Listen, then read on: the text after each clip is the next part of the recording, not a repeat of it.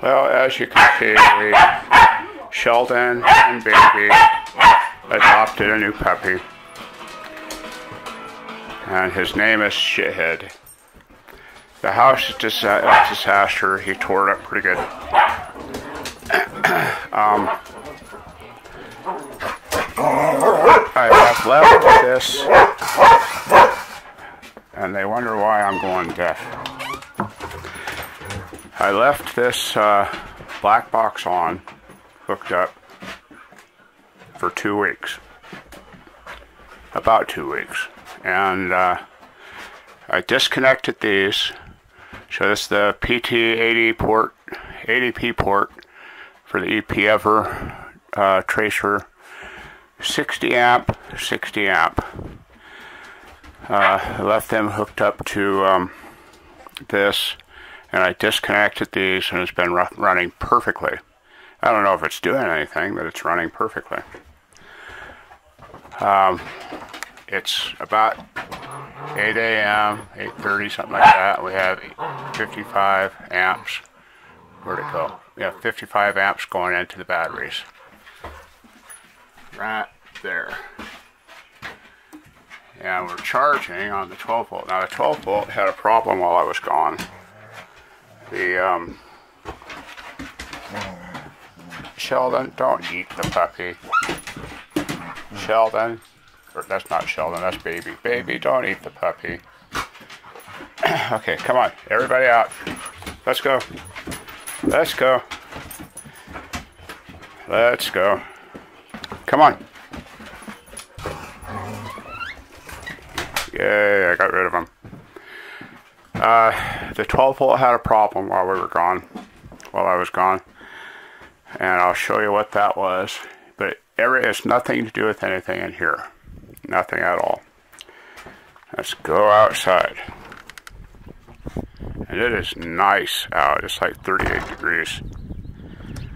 I'm in short sleeves.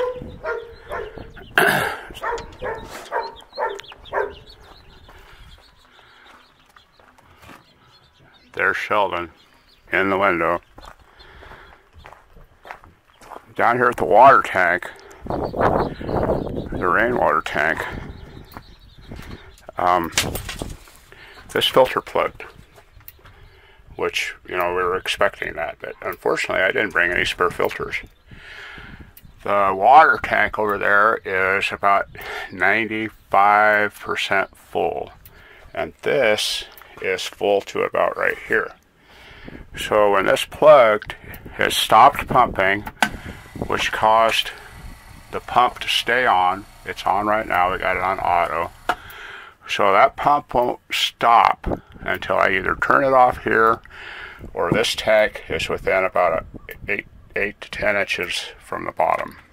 That's the way I got it set up. So we're okay. I would like to pump the rest of that water into there and just top it off, shut this off and let this fill up. But it's not going to happen that way because I don't have a spare filter. I do think it would be cheaper. These are like almost $15 a piece. I have to write down the number. Don't let me forget to write down the number so that I can take this uh, and buy a bunch of these. But it would be actually cheaper to get another one of these. These are 500, uh, whatever it is. And this is uh, 500, whatever it is. but we are right about here on the level on this. It's really full. I gotta check the propane. oh gosh, we still have 40%. Should probably buy some while it's cheap. Gas prices are down to $2 a gallon or less here, which is a good thing. I'm going to walk around to the garage and show you what I've done. These are getting pretty bad. I can only work a couple hours a day on this stuff. Sue came down. Uh, I got all this hooked up. I need to do some work right here. But we have lights in the garage. Need to get some, change out some extension cords and stuff.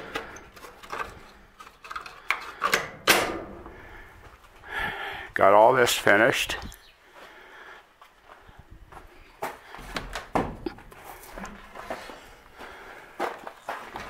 I ran all the lighting stuff in conduit. This group here is switched. All of these are switched. This one is not switched. This one is for the camera, which is right up there. I also put a a solar light and You can see it up there, so when we drive in at night, it'll turn on. and then here,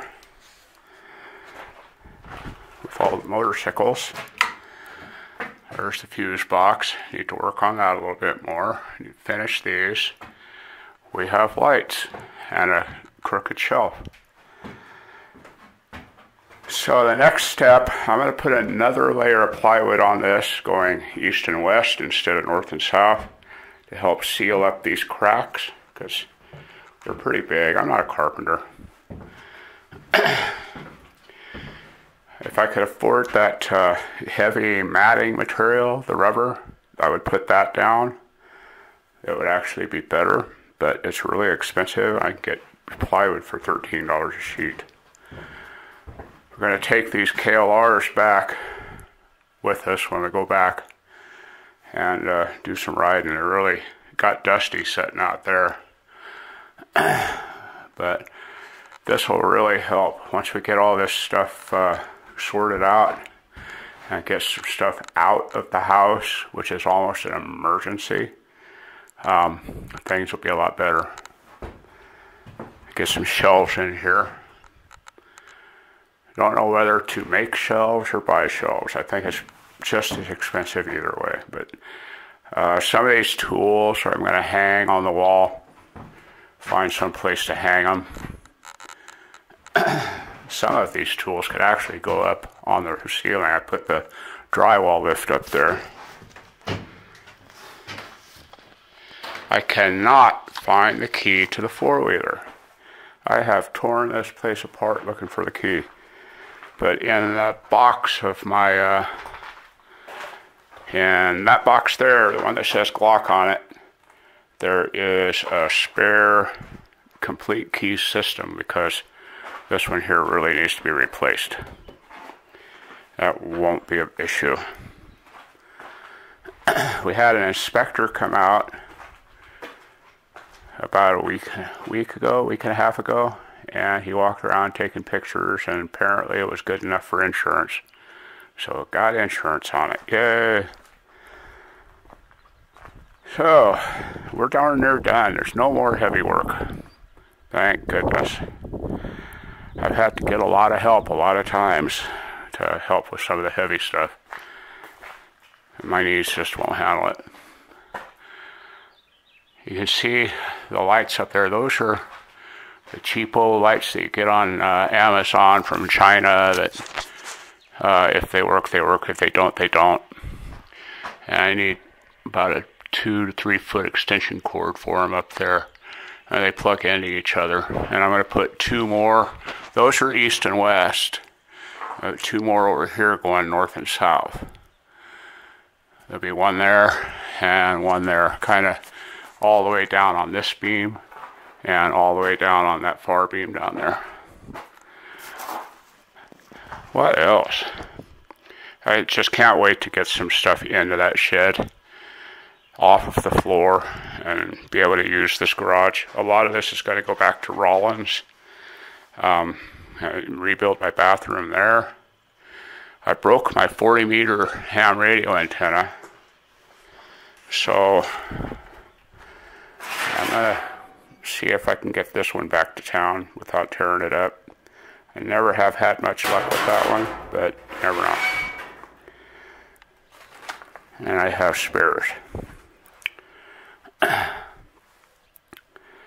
one, I, I, that big one there, I can't get the SWR down on it.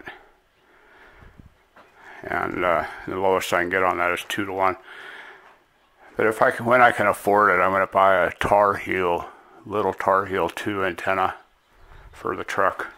It's a, it's a automatic antenna that you can buy. They're like $550.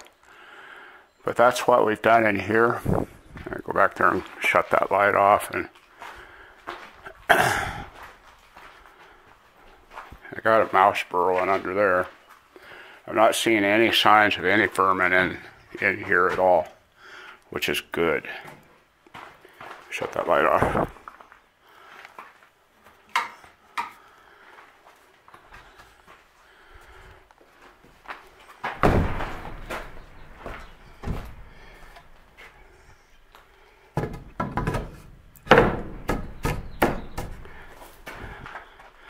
Okay. I need to bring a lot of bricks down pavers for this side.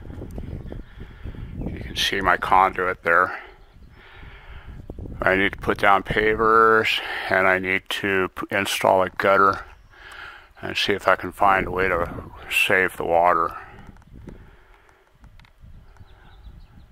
might just pick up two of the 300 gallon tanks and put them at each corner and then figure out how to pump it all the way to the front or use the use them for irrigation. Once I get everything finished here, everything finished, I don't want anything else to do on the house. I'm going to start working on uh, planning stuff.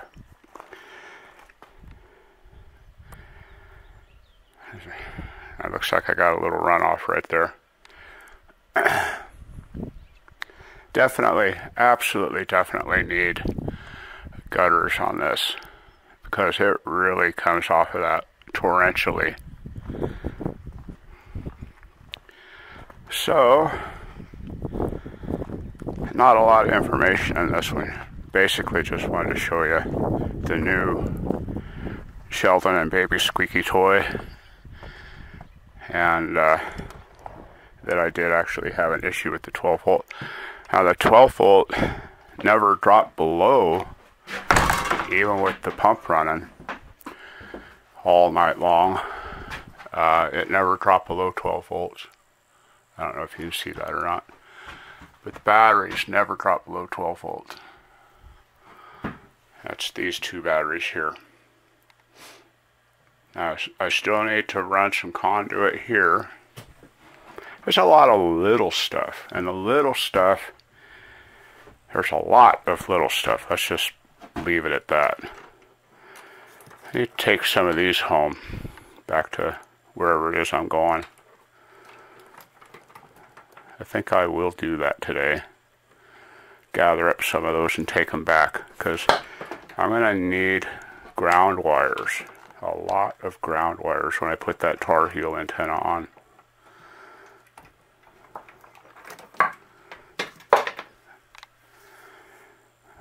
I've got to have both ends on them. These are all heavy braided. There's four of them. That ought to be enough. I didn't even think about using these. Cool. Okay, these are all soldered on and heavy braided.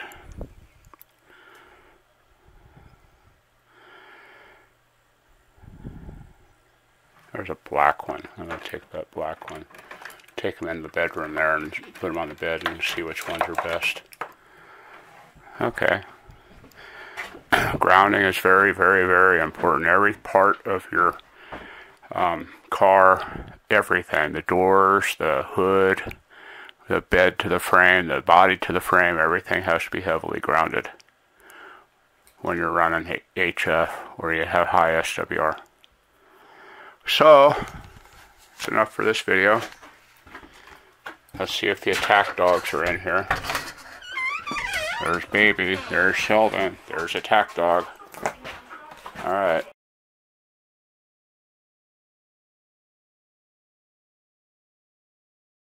Good morning, boys and girls. There's Sheldon, Baby. Hi, Baby. Uh, been about a month, month and a half since I did a video, maybe a little bit more. Um, I'm going to answer, try and answer a question. I don't know if I can or not. But anyhow, um, about a month and a half ago, we decided to try this thing out, and I really didn't think it was working worth a hoot.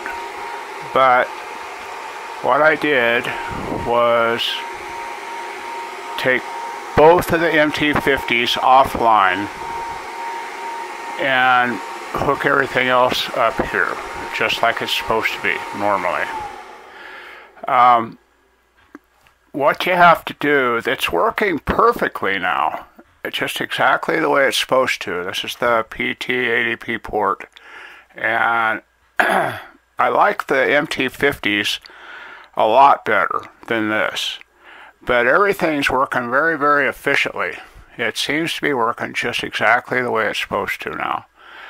Um, this is the second module. This one here has two, 235 watts. Or this is connected to 235 watt panels, and it has eight of them. This one here is connected to 300 watt panels, and it has eight of them. Excuse me. But anyhow, this one here will charge and charge and charge. This one here will come down to zero, just exactly like it's supposed to. So right now, we're charging on the solar at 9 point, what is that, 9.08 amps. It's, it's about 10.30, I think, 10.25 in the morning. And this one here, if I look at it, it's at 0.2 amps, is what this one's charging at. And this one's charging at 9.4. So this one here will shut down and not charge unless I start a draw. So this one here does all the work, 235 watt panels. This one's doing all the work. And this one here basically shuts down. Um, the 12 volt system works basically the same, but um, they're a little bit more even. This one here may shut down, this one here will shut down if they're both charging evenly. But remember, this one here is on the west side of the house, and this one here is on the east side of the house. So if they're charging evenly, you'll see that one of them cycle off and on and off and on and off and on. That's the way they're supposed to work. So everything's working pretty much exactly the way it's supposed to. I'm really happy with the system now. I need to go in and straighten up these two wires if I'm going to leave it this way. But I, like I say, most everybody likes using the, uh, whatever these things are, MT50s, a lot better than um, this. But what I'm finding is the efficiency level has improved. I can watch this one and uh, this one here just really does not do much work at all. I, am really contemplating on going ahead and adding the rest of my batteries out here. I'll need to extend this bench a little bit, but set this side up over here as a 48 volt system also, and then I'll have double the battery capacity. Uh, but that's about it for this. It's working really, really, really well. I'm happy with it for sure.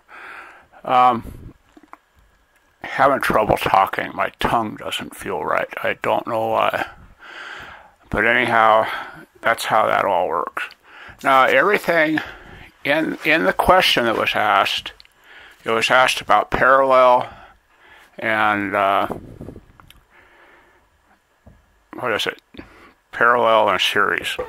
So uh, what I have here is I have four panels in series and four panels in series.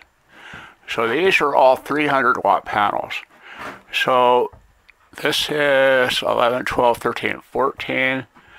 So they are, where are they? I don't know where they're at.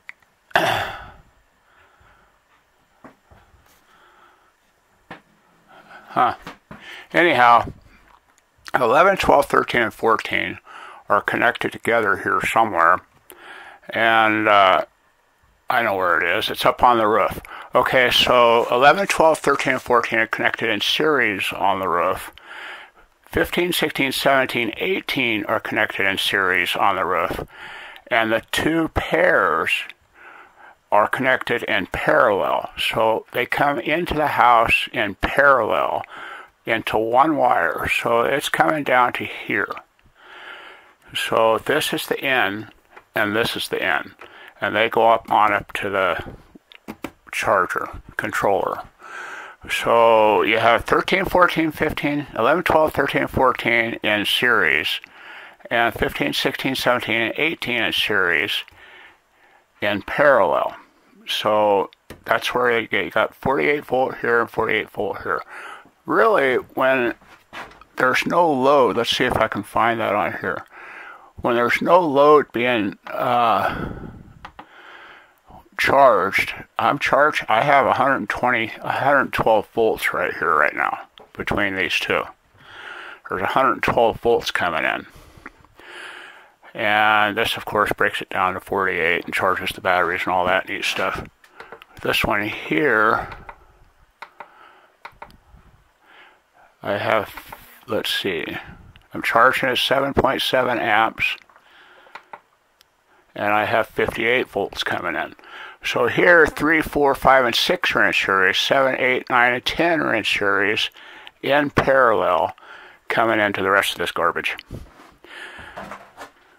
So that's how all that works. And these here are 19 and 20 are in parallel going into this one, and 1 and 2 are in parallel coming into this one. I have 265 watt and 265 watt. So that's how that all works.